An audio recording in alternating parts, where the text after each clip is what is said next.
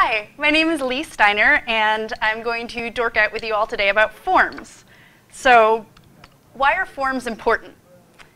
How many times a day do you fill in a form? Well, when was the last time you wrote an email, looked something up on Google, unlocked your phone? They're everywhere. But they're important too. They're how we buy things, they're how we vote for presidents. Who remembers this disaster buckle? They're how we enshrine some of the most important decisions of our lives. According to one study, 41% of living wills, the forms that we fill out to make some of the most sensitive decisions about our end of life care, give directly conflicting instructions that don't, re don't reflect the desires of the people filling them out. Forms are an undeniable, unavoidable part of the internet today. You're going to make them, and a lot rides on you getting them right. So let's talk about when forms fail and how. There are three broad reasons why forms fail. First, there's a form you don't need. People hate forms. And when you ask people to fill them out, some portion of folks are always going to turn right around and leave your application rather than do it. So the first question you have to ask yourself is, is the trade-off worth it? Or two, your form is hard. The questions might be confusing or require information that your user doesn't have or would have to do research for. Um, or the layout itself might be confusing or frustrating. And third, the information being asked for is impertinent. Do you really want to give Candy Crush your social security number? Why does this online service need my street address? Basically, who are these people and can they be trusted with my information? Forms succeed when you achieve this balance. The reward the user is chasing through completing your form weighed against the effort required to get there and always held in place by how much trust the user has in you and your process course, as a developer, not a designer, why should you care? so sometimes you are the designer. That's it. There's no one else. You're making these decisions. And having the slickest code won't make your app a success if nobody can get through the login process. And when you are working with a designer, you're often still going to have choices in how you realize a list of specs. And these choices can have far-ranging impacts on how someone experiences what you've built. And when you're working with a designer, there always will be snags in your implementation. Moments where the reality of the internet comes up against the lofty goals of the wireframes. And the better that you understand what makes an, inter, uh, an interaction usable, the better you will be able to guide the application toward solutions that work for the full stack in the fullest sense of the word, from your database to the human pushing buttons at the other end. Fortunately, forms are a lot like writing code. They are a way of asking for something very specific from a source whose inner workings you don't totally know. And so the first thing you should ask yourself is, who is your user? Um, who is using your forms and when and where? Are they digital natives? Are they people who use a computer once a month? Are you serving both populations? Because that's fun. Um, are they in a rush? Are they working in a quiet room? Are they on a mobile device? In short, do you have personas and user journeys? I hope so, and hopefully they're the same ones that you have for your application in general. And when you know who they are, what do you really need to ask them? If you're not going to ask for, if you're not going to use the information, don't ask for it. And if it's not clear why and how you're going to use it, find a way to tell the user. What we can see here is uh, one version of the sign-up form for eBay, which asks for a telephone number, and it's not really very intuitive why an online auction site would want a phone number. And so you can see that there's a short explanation, which maybe you can't read, so it says, needed if there are questions about your order, um, beside the input field to reassure the reader uh, that their time and effort is being respected. Generally speaking, if you can wait uh, to ask for a piece of information, it's better to ask later when your user has more buy-in. But most of all, Dryness is not just for your code. Whatever you do decide to ask for, make sure that you only ever ask for it once.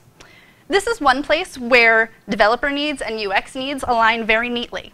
A call to the database might be slow, but it's not as expensive as losing a frustrated user altogether. And asking for the same information multiple times, especially things like phone numbers or street addresses where there are different ways to correctly represent the same piece of information, can result in unpredictable and hard to clean variations in your data. Ultimately, this all comes down to the moment of your ask. To that end, I'm going to take a couple of minutes to run through some basic React implementations of a few different kinds of input fields and what kinds of problems they solve. So first, you have text boxes. They give your user the most freedom. When you, don't, when you know that you need a highly individualized answer, when the precise formatting isn't too important, and when you know that your users are motivated to complete your form, a text box gives you the highest potential for information. Clear open text fields are also the first thing that most users visually scan for when reading a form, and what's interesting to remember is that they will often jump straight to trying to fill them out before even reading any instructions you provide. Um, but they're not the only solution available to you, and they do have drawbacks. They require typing, which can be slow and inaccurate and will cause you problems on mobile devices. Um, and with all the complexity of that data, there comes the potential for messiness. At some point, some piece of code or even some human will have to make sense of all that text and decide what it means for the mechanics of your application. So a clean, simple counterpoint to a text box is a suite of radio buttons. They're great when you want a user to choose once and only once from a predetermined set. They're visually distinctive and will be recognizable and therefore easy for a lot of typical web users. They're also good for when you know that most people will have the same answer, which you can set as a default, and let everyone but the people who need to change that answer essentially skip that step. The drawback is that you have to think very carefully about your answers. How likely is someone to waffle between two, two options or to be frustrated that their real answer is, is one that you neglected to provide? Forums often try to work around this by including an other option that is combined with a text box, but then you have to have a way of dealing with that outlier data. They can also be visually overwhelming if you have more than a few options, making your form noisy and confusing. When your solution seems to be a lot of radio buttons, that's a sign that you should probably consider swapping them out for drop-down menus. Um, they have a lot of the same advantages and disadvantages of radio buttons, but can look a lot cleaner on a form when cons uh, conserving real estate is a priority, and when isn't that a priority on the web. It's important to put thought into the option that goes at the top of your menu uh, and how the dropdown is organized. A long menu, longer than this one, uh, will be unwieldy.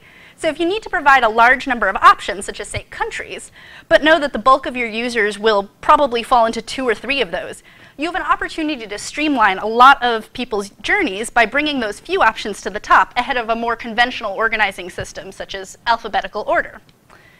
The last uh, style of input that I'm going to talk about today, although there are a few others, is the checkbox which has two main ways that it's commonly used. First, they exist in contrast to radio buttons and drop-downs as they allow users to check as many or as few options as may apply. This is a good compromise between the total openness of text boxes and the rigidity of radio buttons. Second, and I'm sure you're all familiar with this one, they are a common convention for opt-in, opt-out opt moments. By rendering the default state as checked or unchecked, you can preload the option that you hope most of your users uh, will choose. While this can be implemented to prevent costly errors, it can also hugely erode the user's trust in your application by making them feel tricked into choosing something that they might not have otherwise chosen. To conclude, while implementing forms is a development task, it's one that can be made simpler and clearer when led and informed by considerations of your user. And what I've noticed over and over again is that the most effective techniques for increasing form completion, which is always going to be your ultimate goal, are often extremely simple pieces of code. So uh, if you're interested, here are a bunch of sources that I really used and enjoyed, and I would particularly recommend the top two, which are great books. Um, thank you so much for listening.